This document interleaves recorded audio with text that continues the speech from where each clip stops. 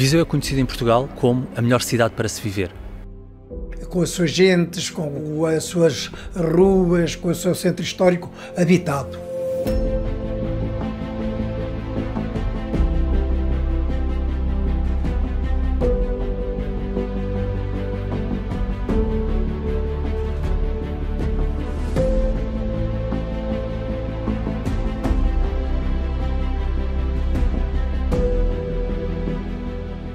Pousada de Viseu.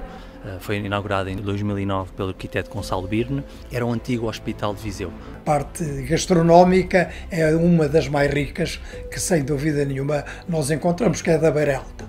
Nós gostamos de nos uh, deliberar essencialmente por pratos tradicionais. Então, uh, hoje tivemos a esfera da alheira. Uh, fomos buscar a nossa alheira e o nosso fantástico queijo da serra.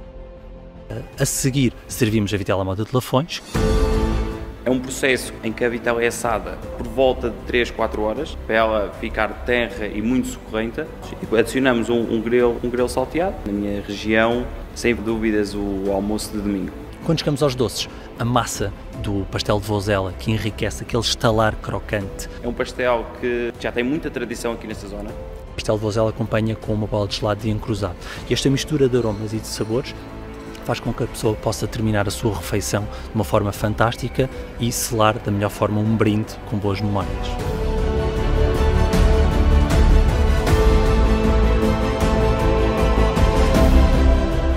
As pessoas desta zona são o que fazem a diferença, são o que nos distingue de muitos outros sítios. Viseu?